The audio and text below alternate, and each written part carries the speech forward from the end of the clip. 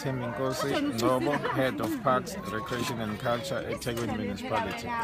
Yes, we introduced this initiative because we realized there are so many dumping sites, illegal dumping sites in the city of eThekwini. And instead of reducing, they're increasing on a daily basis. Whether it's a working class area, so to speak, or a middle income areas, it's just the same.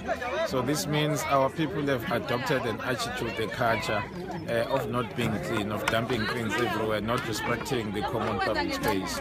So this is part, firstly, of an education process where we'll come in in the morning. By the time we move in the afternoon, a place that we targeted will have radically transformed, so that people can begin to appreciate the importance of being clean and keeping their own communities healthy and clean. And then two, also, we're trying to say to them, if you don't care about the environment, that is not going to contribute towards local economic development. If you have a place as clean as this one, it's more likely that you'll have people from outside who will come and visit.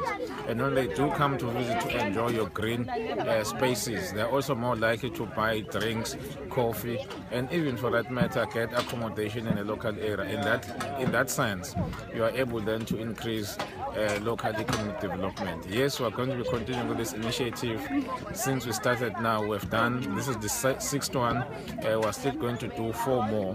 Then come end of the this financial year, we'll wait for an allocation from the city. We're going to be doing this now non-stop until this eThekwini city is clean.